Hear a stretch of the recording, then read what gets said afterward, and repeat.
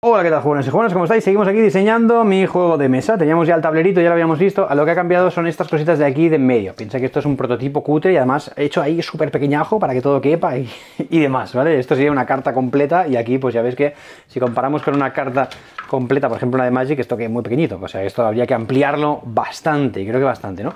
Entonces la idea es, eh, la idea es la siguiente. Aquí hay como la aldea, se supone, los tracks deberían estar un poco mejor integrados, ¿eh? Pero ya te digo, ¿eh? Súper prototípico todo, como muy cuadro para que todo cuadre. Nunca mejor dicho. Bien. Entonces, el rollo es que esto sería como el castillo, la zona que tienen que, que, los jugadores, mediante sus acciones y demás, van a intentar. Mmm, ¿Cómo decirlo? Reconstruir, básicamente.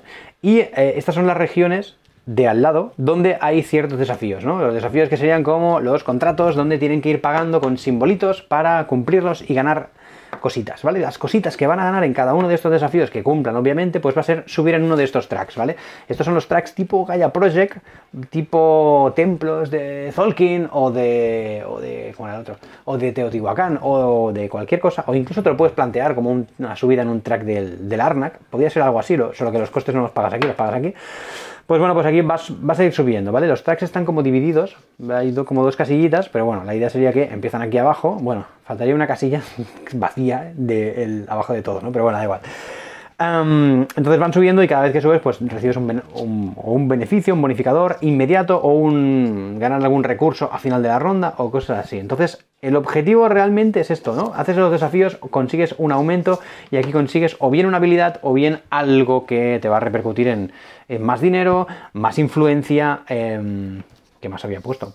Algunas ventajas, algunas bonificaciones, etc. Entonces, esto sería muy en plan matemático. Y ahora en cuanto a sensaciones, de que de hecho el otro día alguien lo comentaba, ¿no? Las sensaciones de un juego de mesa, y ahora sí que ya estamos llegando un poco a esa fase de decir, hostia, ¿qué quiero que evoque este juego? En este juego ya me ha ayudado bastante este, el ir pensándolo de esta manera matemática, porque ahora ya puedo eh, traspasar un poquito eso. Y lo que quiero es que los jugadores vayan reconstruyendo esta especie de reino caído en desastre. Y de hecho quiero que ni siquiera sea un reino, sino quiero, quiero que no sea nada monárquico. Quiero que sea en plan un reino que el rey lo ha mandado a la mierda y entonces la gente ha echado al rey y ha llamado a las familias, eh, pues yo que sé, más poderosas o más capacitadas, o simplemente se han juntado a las familias que viven aquí para rehacer todo esto y eh, superar una serie de desafíos, ¿no? Y subir en los gremios. Estos eran los gremios. Y el que gane más puntos de victoria representa el que tenga más fama o el que tenga más, no sé, el que demuestre más dotes para liderar un poco a los demás, pues ese será el líder durante un año, por ejemplo, ¿vale? Y el año siguiente se vuelve a hacer lo mismo, se vuelven a hacer los desafíos, es decir, se vuelve a mirar qué cosas hay que hacer para mejorar el reino y ahí pues va, va mejorando, ¿no? Es un sistema pseudo democrático o oligarquía, pseudo oligarquía, algo así, ¿vale? Para, no, para salirnos un poquito del típico, el rey, ¿no? Tú haces favores para que el rey te dé algo, ¿sabes? El rey que, no sé, yo no soy muy monárquico, así que me parece bastante más guay este, este sistema, ¿no? Dejar mal a la monarquía, ¿no? Ha arruinado todo y tenemos que ir a solucionar todo esto, ¿vale? Eh, entonces, la idea del juego es reconstruir todo esto. Por lo tanto, lo que me parece muy guay es vincular estos aumentos a ciertos edificios o a ciertas construcciones, mejor dicho.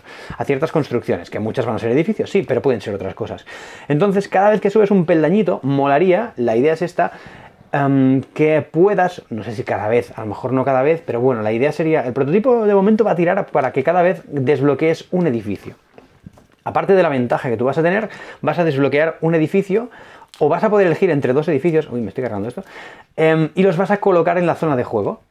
Y esos edificios te van a permitir hacer ciertas acciones. Por ejemplo, que arreglas el molino, pues resulta que el molino está aquí, entonces cuando vienes aquí, pues ganarías, yo que sé, uno de pan, o uno de dinero, o uno de lo que sea, o uno de robas una carta, por ejemplo, algo, alguna pequeña cosita y que te dé un pequeño bonus y que haga que el tablero, pues, hostia, vaya siendo un poquito más, más interesante y que realmente a donde quería llegar con, toda esta, con toda esta chapa es que lleguemos a evocar esa sensación de que estás contribuyendo a que esto sea mejor, ¿no? Obviamente, si lo has construido tú, te permite la acción a ti y a los demás también, ¿vale? Porque si tú construyes un puente, por ejemplo, pues no es un puente para ti, es un puente para todos, pero cada vez que alguien pague, te va a tener, o sea, cada vez que alguien pase, tú vas a ganar algo, o bien un punto de experiencia, algo que cuadre, ¿no? Si es un puente, hombre, no creo que pongas a alguien a cobrar peajes, por lo tanto no tendría sentido cobrar dinero, pero a lo mejor puedes ganar, pues yo que sé, prestigio, o podrías ganar, yo que sé, algo puedes ganar, ¿vale? Em, y este sería el rollo. Entonces, de momento, lo que estoy. No está testeado nada eh, de esto, pero bueno, la idea sería esta: que tú vas, eh, ganas un desafío y te permite, en principio, subir un punto en un sitio. ¿Vale? Ese sitio, por ejemplo, si estás aquí abajo, pues te vienes aquí. O bueno, si no estás, pues entrarías aquí. ¿Vale? Entonces aquí lo que te dice, este es el más básico, es más fácil. Te vas en medio, ¿eh? Ojo, porque ahí. Em, si, si te fijas, está dividido en dos, porque entonces, em, es que me salían 8 tracks, ¿vale? Me salían 8 tracks que los tengo por ahí apuntados, ahora mismo no lo tengo, pero me salían 8 tracks en plan, pues el de ciencia, el de poder militar, el de cultura, el de eh, estructuras, ¿no? Digamos, el de. no me acuerdo cuáles eran. Exploración, diplomacia, no sé qué, no sé cuántos, ¿vale? Pero claro, subir en 8 tracks me parecía muchísimo. Entonces lo que voy a hacer es que vas a subir un peldañito. No sé si la opción mecánicamente más chula sería que aquí pusieras un track aleatorio. ¿Vale? Con lo cual vas, a vincular dos tracks, por ejemplo, el de poder militar y otro random, que podría ser el de ciencia. Entonces, cada vez que subes, pues eliges o bien te ganas el beneficio de un lado o el beneficio de otro, ¿vale? Que no es este, este es el beneficio fijo, este beneficio estaría fijo ya aquí. Cuando subes, ganas dos de monedas porque este es el track de dinero, pero a, partir de ahí lo asociamos a otros dos que son edificios, ¿vale? Si subes en el track de ciencia, pues a lo mejor pues pones un laboratorio o pones un centro alquímico o cosas así, que eso, joder, mola, está guay, ¿no? Y tendrías una cartita, no una carta normal, sino una mini o quizá una loseta los setas para el prototipo no voy a hacer porque es un coñazo de. O sea, no, eso es muy difícil. De prototipar, creo. A lo mejor puede ser un recorte en cartulina. Bueno, no lo sé. Pero bueno, me tira más hacerlo con cartitas. Ya veremos.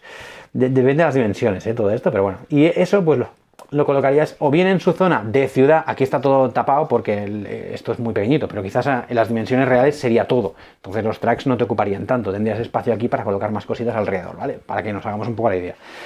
Em, sí, de hecho yo creo que haciéndolo así, aunque con que tengas un poquito más de espacio aquí, yo creo que ya te cabría, ¿eh? O sea que creo que el tablero tampoco va a ser tan tan grande.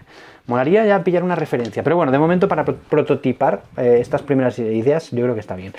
Eh, pues ya está, este sería el rollo, ¿no? Subo aquí, venga, me subo aquí, me gano la, eh, la recompensa central, que sería esta que estoy escribiendo aquí, más una de las dos laterales, que las laterales son muy básicas, ¿eh? las laterales es simplemente construir un edificio y gana algo muy poquito, muy poquito. Aquí, por ejemplo, la que he pensado es que puedes utilizar un comodín de tres símbolos, cambiarlos por un símbolo diferente, ¿vale? Esto es un poco, un poco mierdecilla, yo creo, pero bueno es la básica, o sea, es la de abajo de todo, que esto, bueno, pues igual a final de ronda te permite hacer algo que a lo mejor no podrías. No está mal.